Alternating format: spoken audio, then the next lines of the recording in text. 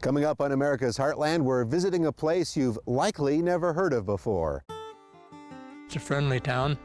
Everybody knows everybody. Everybody knows everybody's business. we have a t-shirt that says, where the hell's likely? Saddle up and come along on a cattle drive in the tiny town of Likely, California. You hate to give up what you've worked for all your life. As the rancher leading the cattle looks to secure his family legacy, we're about to turn this outfit over to the kids. It's what we need to do. I mean, that's our livelihood. You're going to stick around? Sure. I, I peeled off already. Went to go see what what else is out there for a short time and realized how much I liked this place. The town struggles with an unknown future. They're threatening to close our post office, and if we don't have a post office in school, we don't have a town. Meet the people who are working to keep Likely and its cattle ranching heritage alive for future generations. Up until the last few years when cattle prices have got good, there just wasn't enough income to go around. Most of us that live here hate to see what's happening. Lots of changes. Lots of changes. Stay tuned for a very special America's Heartland. America's Heartland is made possible by CropLife America, representing the companies whose modern farming innovations help America's farmers provide nutritious food for communities around the globe. The Fund for Agriculture Education, a fund created by KVIE to support America's Heartland programming. Contributors include the following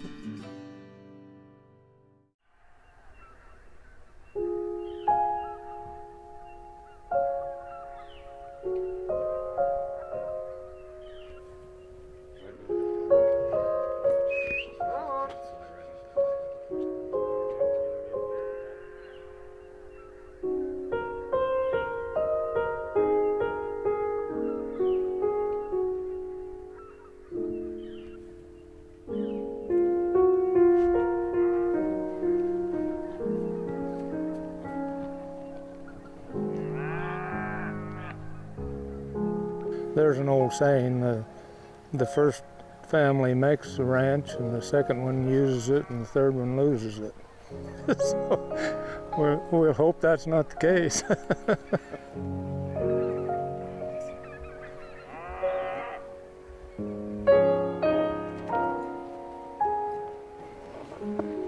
all this stuff takes a while. but it's good for all day once you get it on in the School of Hard Knocks is the way I learned most of it. You got to take another saddle? This is my old saddle. We put on plenty. Oh, okay. And they're they're thinking, you know, there's other ways to do this, you know, and so uh, they're going to be able to find out on their own. Well, we're just about ready to go, I guess. Rancher Ken McGarva has cattle to move.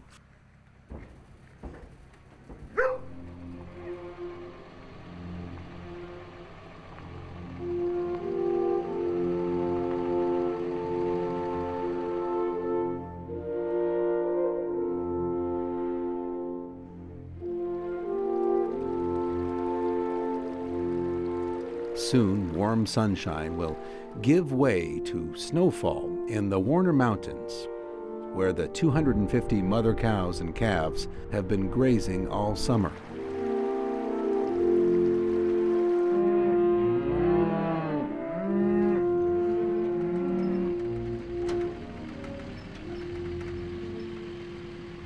Today is the second leg of the 20 mile trip.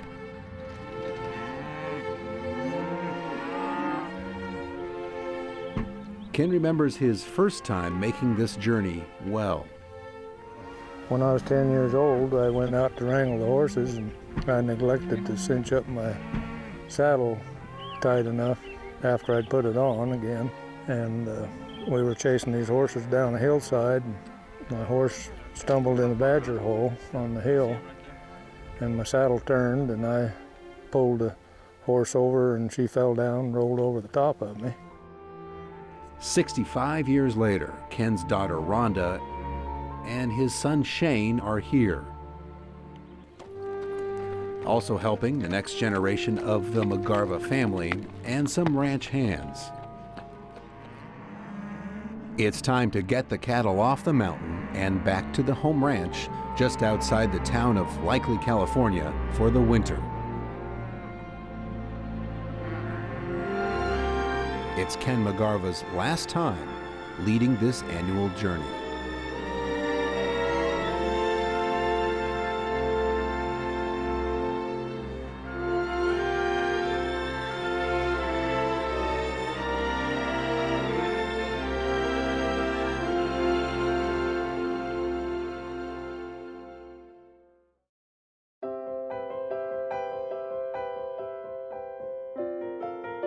As the cattle start moving, Likely, California comes to life.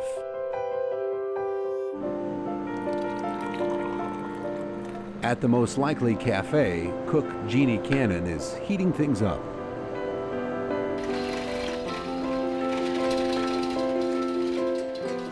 Trucker Walter Sfar is ready to haul some cattle.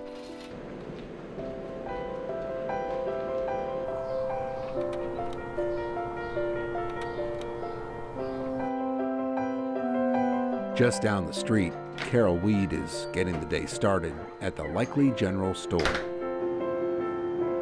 They come in for groceries, dog food, oil for their car, a gift for a wedding. You name it, I have it.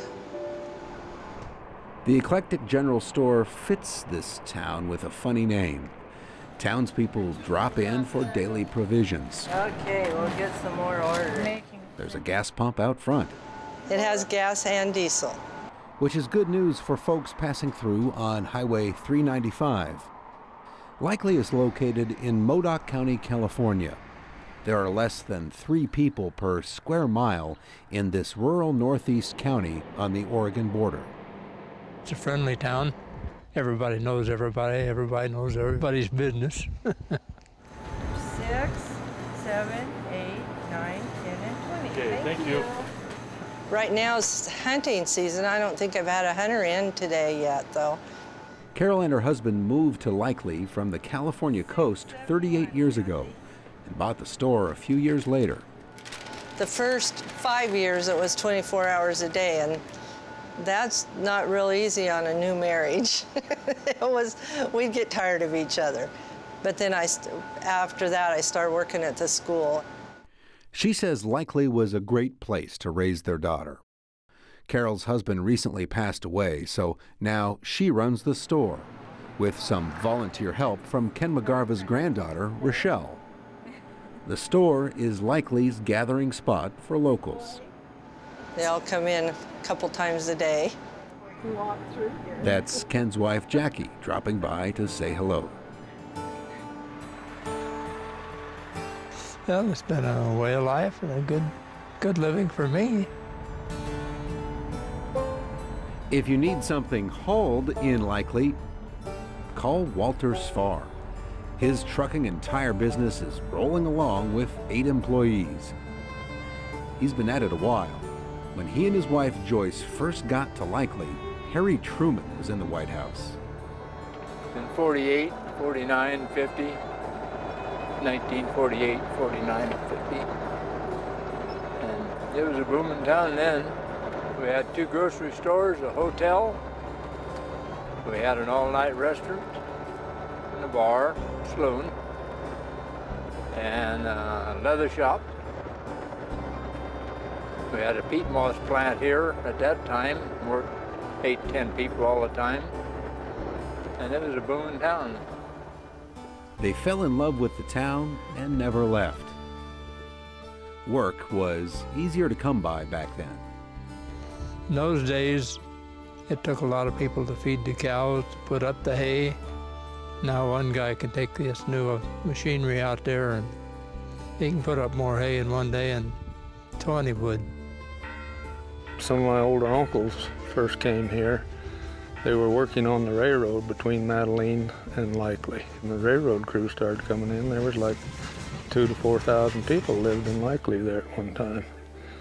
And uh, a lot of them, you know, they just migrated on through as the railroad went, or most of them, because now the population sign says 200, but we have a hard time counting 200.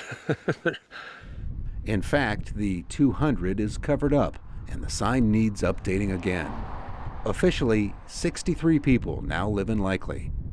The railroad and other employers that once made Likely a boomtown are long gone. Other than the ranching industry that's here, why, not much to keep it going. The opportunity that brought Ken McGarva's ancestors, Walter Sfar, Say hi. and Carol Weed to Likely is fading. The school where Carol worked for 28 years closed its doors a few years ago. The few remaining kids in town take the bus to a nearby city. It was sad. None of us wanted it to close. And they're threatening to close our post office. And if we don't have a post office in school, we don't have a town, I don't think. And most everybody here feels that way. It's a familiar refrain in rural communities. With few jobs available, the next generation is forced to move away. Carol Weed's daughter now lives 300 miles away in Eureka. Walter Sfar's children moved away too. I never wanted to move. I like the country. A lot of nice people here. They've all been good, loyal people, and it's a good place. I don't know if anywhere I'd rather be. If I, if I was to quit today, I wouldn't want to go anywhere. I've traveled all over the state of California and half the other states around here. I don't know of a place I'd rather be than right here.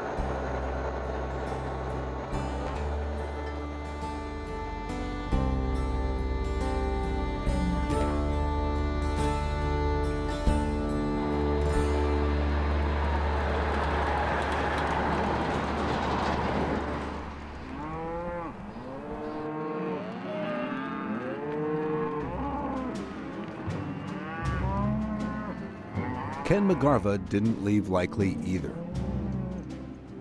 He and his brother bought their father's ranch in 1968.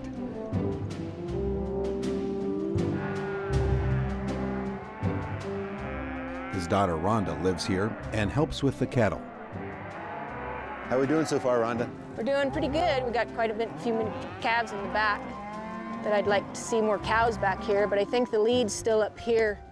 So we'll, if we can get the calves pushed ahead of some of the cows and they get the cows wrapped in around behind them, we'll get some mothered up. So you, you want to get the mothers and the calves together? Yes, yes, there's a lot less stress on all of them.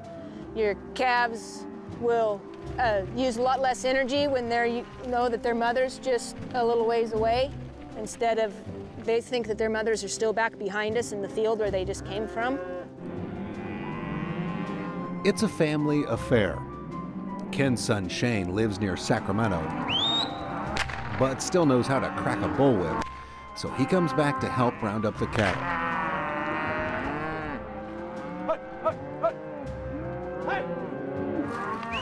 Shane's son-in-law Justin and his son Jared are also keeping the cattle moving. Boy, it strikes me this is a real family operation you got here. Yeah, sure. And uh, most of the people that work for us, if they aren't related, we, we, you know, we usually feel like they're family eventually. But definitely, it's a family family operation for uh, more than 100 years now, and we've really, really been lucky and blessed. This place has given us a lot, and we try hard to get, give back to it. you know, I notice, uh, you know, a lot of family members in various families, ranching and farming families, generation after generation, they kind of peel off, move away. Sure. You're going to stick around? Sure. I, I, peeled off already. Went to go see what, what else was out there for a short time and realized how much I liked this place. So, yeah, I'm going to stick around. My wife's having a little baby, and we have a we already have a nine-year-old girl, and so if they want to stick around, they can and do this. And if not, they can go check out the world their own their own way. So. And tell me about coming back. You decided to come back. Yeah, went off to school and uh, got a teaching credential and stuck that out for a couple years and this is, this is where my heart's at so working for Ken's been a, a blessing it's been very challenging at times because we're not always seeing eye to eye but for the most part, uh, it's been a very nice way to wake up every day and, and go live my life. I couldn't ask for a, a more fair boss, and we've uh, learned a lot from my grandparents and my dad and uncle and aunt. Keeping family close is important. Ken's brother, Dwayne, hung up his ranching hat several years ago and is the historian and photographer of the family. The first McGarvas arrived in California from Scotland in 1903. And then in 1912, my grandparents, my dad, two brothers, and a sister came over, and they were uh, going down to Liverpool to get on the Titanic. But they had overbooked it or had filled it up, and so they didn't get on, which was a pretty good break. Dwayne's photographs capture the beauty of the area and this family's heritage.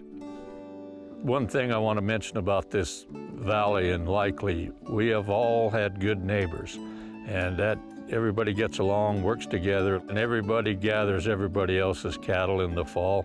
You don't ride by and say, well, that's so-and-so's, he can come get his own cow. It, we don't do that here.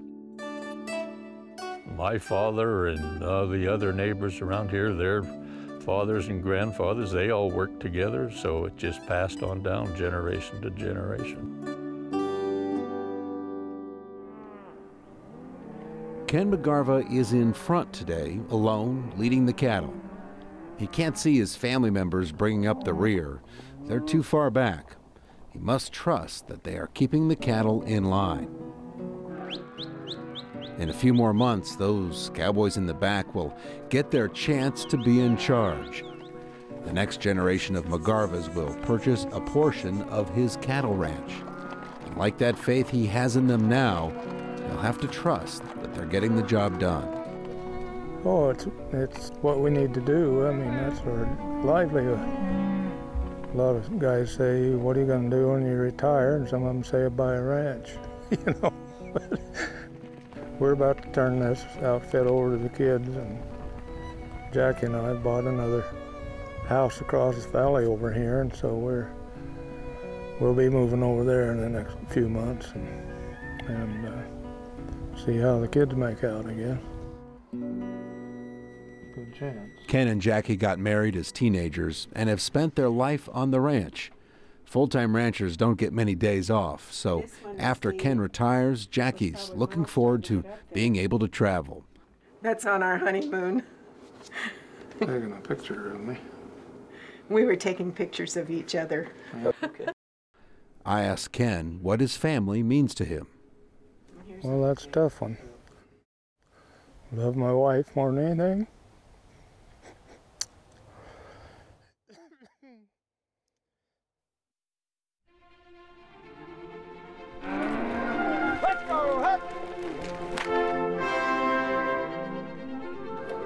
Jared McGarva has plans for the future of his family's ranch. He's exploring direct to customer beef sales. The future of Likely is also on Jared's mind. Oh heck yeah, we've got we've got maybe I don't know four or five different young families that are starting up that are about my age in their early 30s and late 20s, and a lot of young guys like Jesse and Alex over here that that they're they're just about thinking about that type of stuff. So it's it's uh, all we can do. We try hard to to keep people in the town. yeah, we need more babies.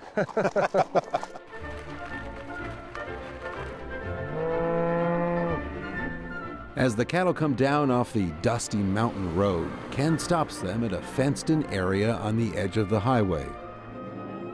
While the calves find their mothers, Cutest cowboy on the range. family members stop by and the cowboys get a few minutes to relax. I did this in Quincy one time. I was doing rope tricks up here. Ah. And the youngest generation of McGarvas gets a feel for the saddle.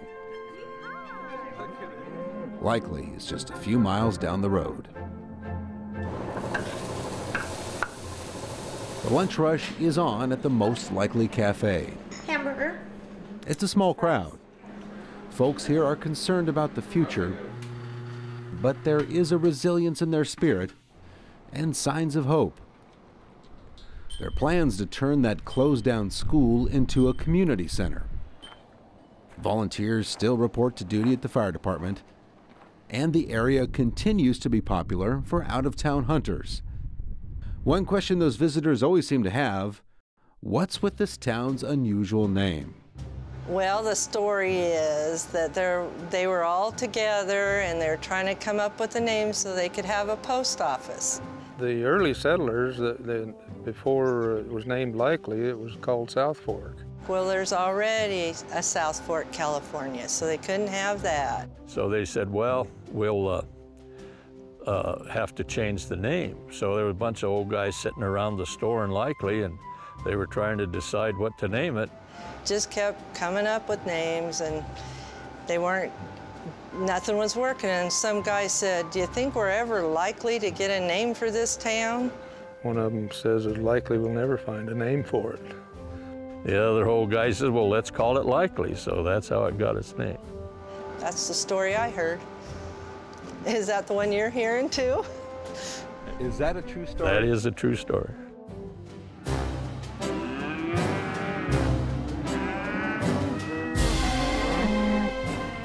And if you're headed into Likely for lunch on this early afternoon, you might want to avoid Highway 64. Last two miles of today's trip are down the road to the pasture on the edge of town.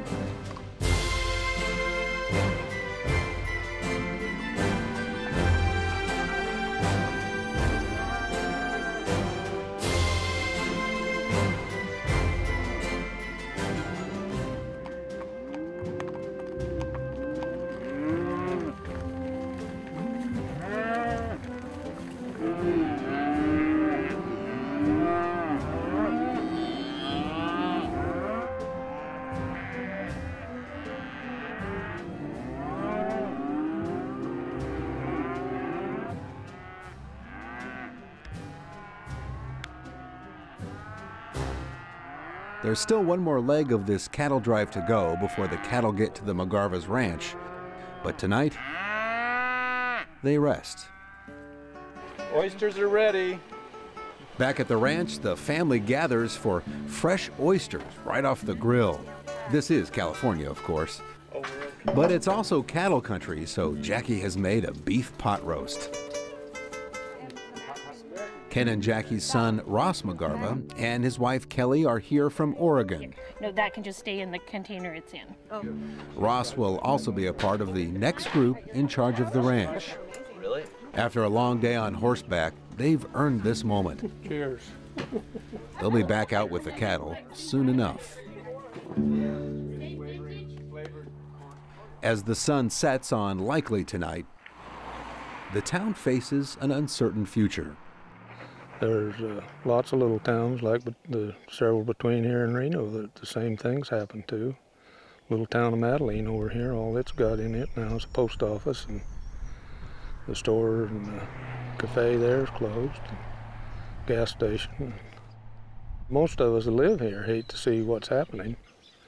You know, we're hoping something can happen to keep it like it is. As for Ken McGarva, he learned early sit tall in the saddle and make sure it's cinched tight. Most importantly, let the horse know who's in charge. So imagine letting go your legacy, your family name. You know, you hate to give up what you've worked for all your life. Handing down a ranch is one of the most difficult things a family can face. Disagreements lead to discord, and a family legacy ends up in the hands of the highest bidder instead of the next generation. The McGarvas admit they aren't immune to those challenges. There are reminders all around them. We've got two of the old family ranches here now that are in absentee ownership, and they don't even live here. The devil is in the details, and the McGarvas are still working those out. But Ken vows to help the next generation with the ranch. Soon he'll no longer be leading the cattle, but this cowboy hanging up his hat for good? Not likely. Before we go, just a reminder to visit our America's Heartland website. You'll find us at americasheartland.org. Thanks for being with us. We'll see you next time, right here on America's Heartland. You can purchase a DVD or Blu ray copy of this program. Here's the cost. To order, just visit us online or call 888 814 3923.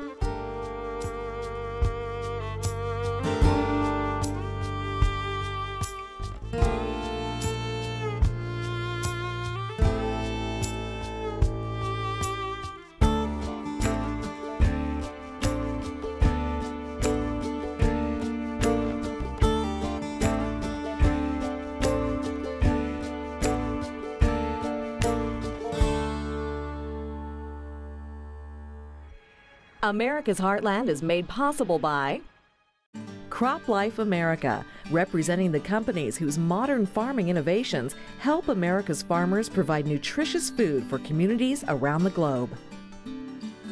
The Fund for Agriculture Education, a fund created by KVIE to support America's Heartland programming. Contributors include the following